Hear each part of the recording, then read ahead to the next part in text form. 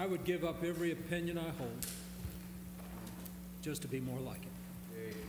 You know, compared to the beauty of Jesus, our opinions count for nothing. So um, we're going to talk about opinions this morning, but understand Jesus alone is worthy. He alone. Uh, I do have some opinions. Uh, you probably have some. Uh, that, that's fine. You're, you're welcome to your opinions. If you, if you want better opinions, just fall into conversation with me. You'll do a lot better. But, um, you know, I, I know that, um, you know, when I get together with other pastors, we talk about some things that are really more opinion than they are theology. It's, you know, it's, it's things like, um, uh, do you do weddings for people who don't belong to the church? You know, you can argue that, talk about that back and forth. Will you do a wedding outside of the church building? There's pros and cons on both sides. And, uh, you know, so we, we have our opinions and we share those, but, but they're not that critical. They're, they're not as deeply critical and theological and, and life threatening the way the question of shall we wear coats and ties or not? and the answer is absolutely wear a coat and tie. And I know in this group, I'm, not, I'm one. One amen. That's all I got. We might be few, but we're right. of course, you wear coat and tie. If you went to see the president, you'd wear a coat and tie. This, is, this is the most important thing you will do with your life is stand in the presence of Almighty God. You want to wear your best. You want to look your best. You want to be your best. And you just want to, to let God know that you took this seriously. Wear your very best. There's no way that you could walk into church without a coat and tie. Ladies. Should we wear a coat and tie? Absolutely not. What a Pharisaical thing to think. Why, after all, Christ has set us free, and by the grace of God, we stand before God. And when we come before Him, we come as we are. Nowhere in the Bible does it say, put on a coat and tie, and then God will give you His grace. He takes us just the way we are, just the way we look, whatever we're wearing. And when we come to church dressed in our normal, everyday kinds of clothes, that just says to God, thank you for your grace that loves us the way they are. You have to not wear a coat and tie. You see, you can start from the same core beliefs and convictions and wind up in two different sides of the equation. And, uh, you know, there are some things that are convictions, and they're really not up for debate. They're not up for discussion. Things like there is a God, and God is one God.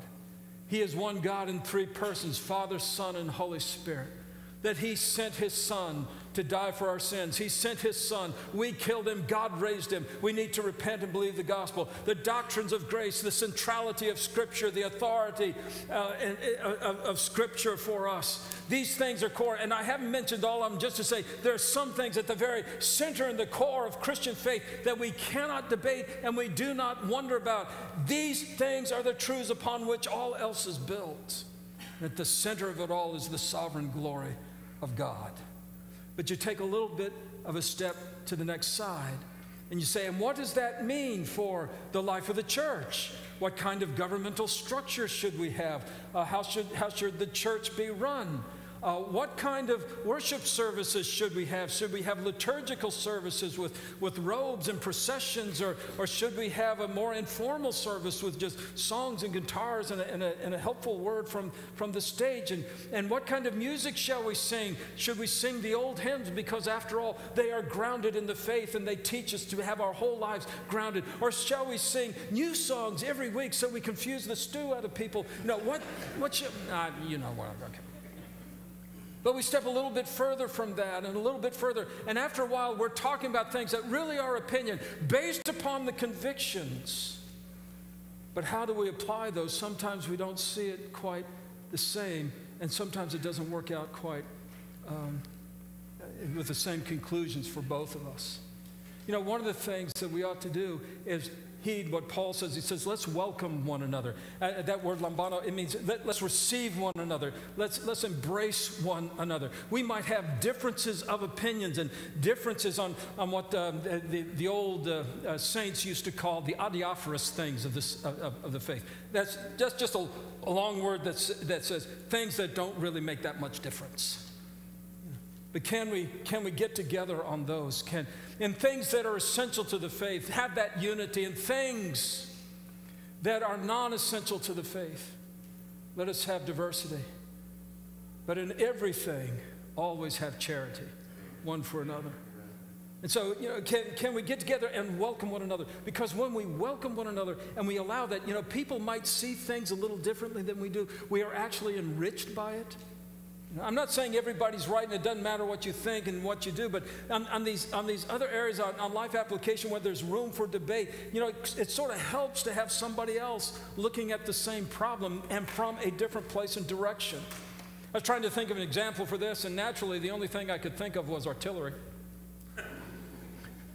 but uh, naval artillery. But uh, and, you know, if, if you want to fire off a gun and you want to hit the target, that's what we want to, we want the, to, to, do the right thing, and that's the target. How do you zero in on that? Well, I stand here, and um, if, if you had a naval gun, what, what you do is you have one observer, and he's over here, and he tracks where the. I'm not shooting at you, Bob. You're okay but you know, he, he tracks to where the target is and he writes down the angle. And then you have another guy over here and he's looking at the same target, but he writes down a different angle. And the guy in the middle, being a right sharp fellow, he takes those two angles and he does the trigonometry of it and he figures out the intersection of the trajectory of the two observations and he figures out how far away the target is. You see, you're better off with two different perspectives because that's what gives you depth. Are you thankful for your vision? Are you thankful for both your eyes? Are you thankful that God gave us two eyes? They don't see the same thing. They're offset just a little bit from one another. And what the brain does is takes two different pictures, it puts them together, and it gives you depth perception. That's why if you have a eye surgery or your eye is covered or you can't see out of one eye, you don't have that kind of depth perception. But it's because you have two observations from two different places, seeing two different things, but focused on the same target. You get a sense of depth. That's what happens when we allow each other to have a difference of opinion on these kinds of things. And so this morning, I want to talk to you just briefly, very briefly, about um, how to hold an opinion. Now, Paul, uh, in this passage, is actually talking about how to get along with each other saying, what, what do you do when you have this, this kind of, of differences of opinion? He says, well, the first thing is you welcome one another. You agree that, well, you, you have your view, I have my view, but, but that's okay. And then he gives some principles about uh, why that's the case. But I want for us today to think about, on, on the other side of that is, how do you hold a Christian opinion? See, Paul starts out and he says, as for the weaker brother, did he say that? Something like that. As for the one who is weak in faith, welcome. You know, I've, I've always read that and say, what if you are the one who is weak in faith? None of us are weak in faith. It's the other guy who's weak in faith. You know, I'm always the one who's strong enough to have the right conviction. You're, you're a little bit weak in your, in, in, your faith like that. I think what Paul means here is either for the sake of argument, that uh, the person who disagrees with you, you think they are weaker in their thought process, but here's how you respond. Um, he, have, he, may have a more philosophical view of that. But, but basically, he says, as, as for that person, you're not going to see it how do you get along with one another? But I want for us to think about how do you hold a Christian opinion? And from this passage, the first thing I think we get is hold your opinions with humility. Paul says it to um, the, the Roman Christians this way. He says, one person believes he can eat, and another says you can't.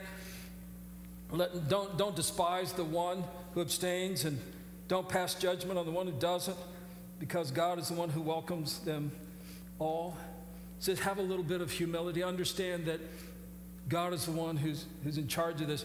And not often, but once in a while, you might yourself be wrong. You might yourself not be entirely correct. Hold your opinions with a little bit of humility because that, that will go a long way uh, uh, to guard against the reaction that we normally have when someone disagrees with us, which is to get very defensive and to be threatened by a different thought process than our own. But again, we need that different thought process. And he says, Welcome that person, not for the purpose of disputes, literally, not, not for the purpose of hammering out the fine details of why they're wrong.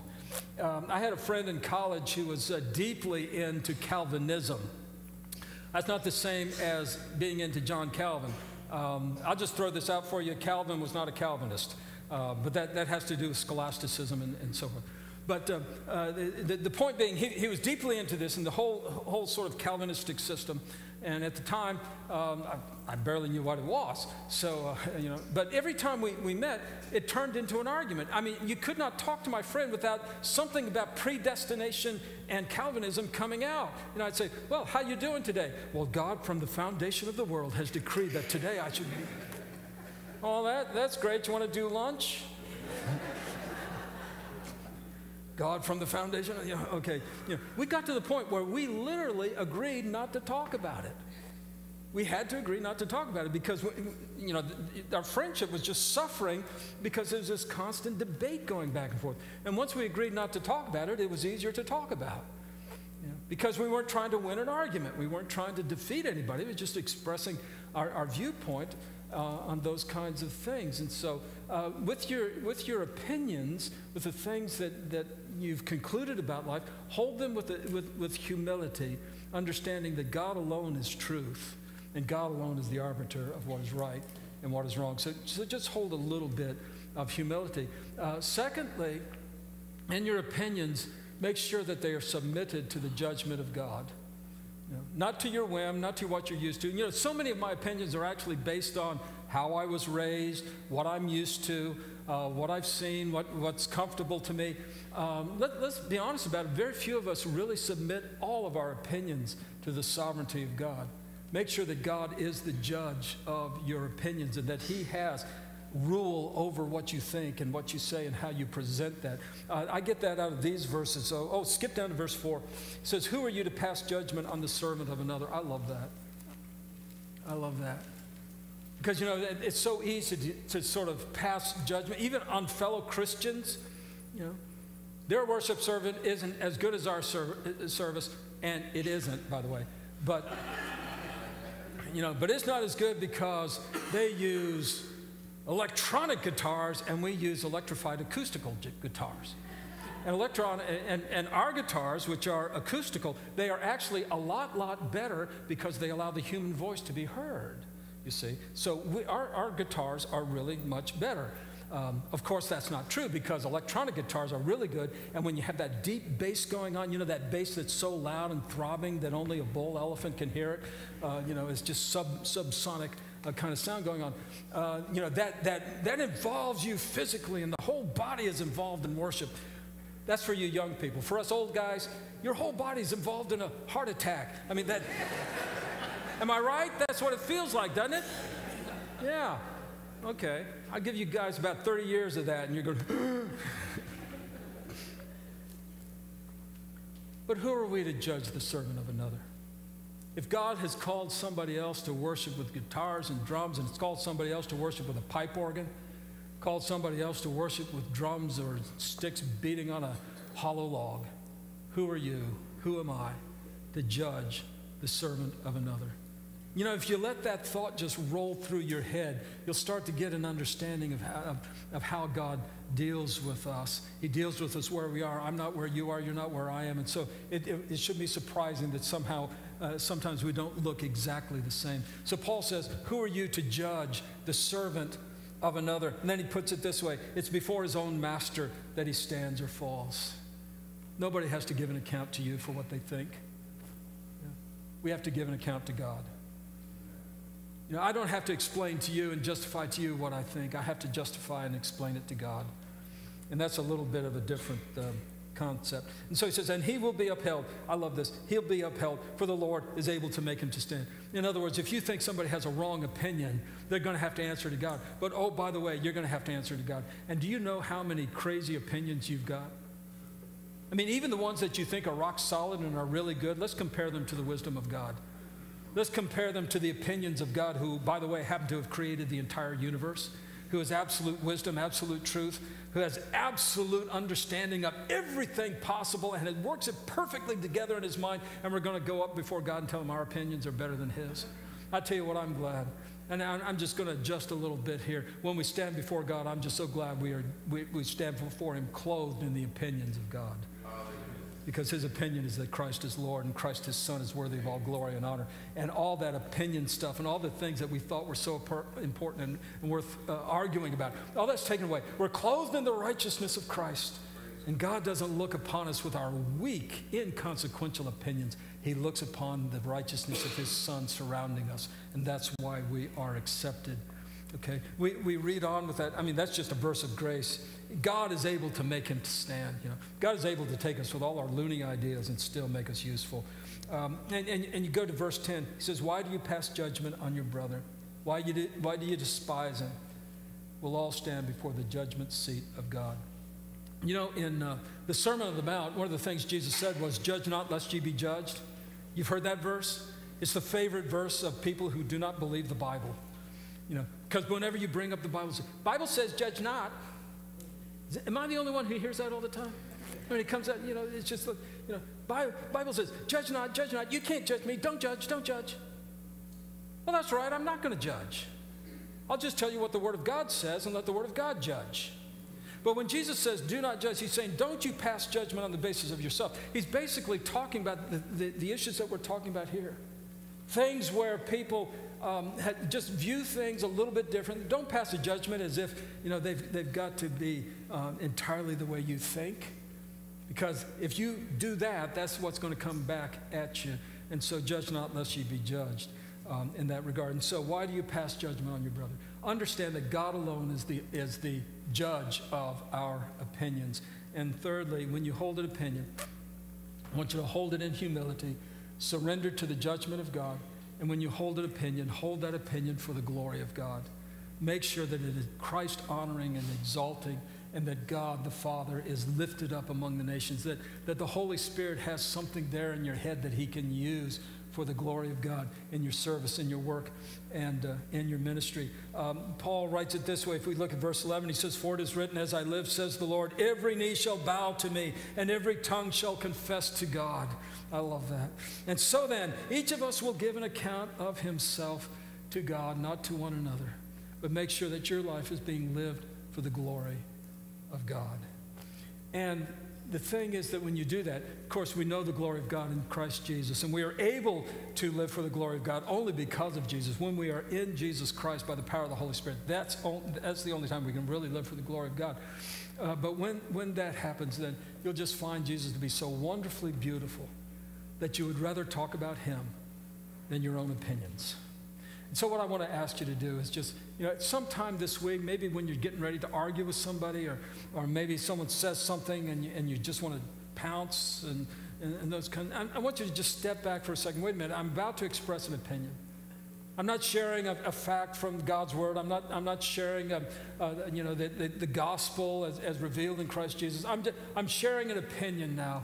And I want to just ask, just ask you to, to step back and look at it and say, am, am I being humble about this? Am I, am I surrendered to God's judgment? And is it something that glorifies God? Because if it isn't, I'm just going to let it go. And we ought to. All right? Let's bow together in prayer. Father in heaven, I'm just so grateful and thankful that um, your opinion of us is formed in Jesus Christ. That you've put us in your Son that we might look more like him. And so I pray that you would give us the the courage and the patience. And Father, give us the, the, the ability and the strength to surrender our thoughts all to you. And then as we deal with one another, that we would do so with love and mercy as you have dealt with us. I ask it in Jesus' name. Amen.